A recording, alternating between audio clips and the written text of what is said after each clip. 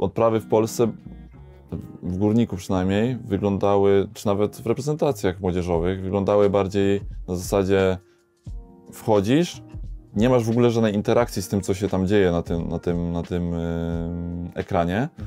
Tylko trener ci mówi, a ty tak na lekcji, której nie, nie lubisz, siedzisz i... Słuchasz, odbębnisz No się. tak, tak. No tutaj to, tu to, dobra, okej. A w Holandii, przynajmniej w moim klubie jest tak, że jest odprawa, zaczyna się odprawa i na przykład jest pok- pokazane to, jak na przykład ten Feyenoord nas presuje, że na przykład presuje nas, y, nie wiem, dziewiątką i, i skrzydłowym.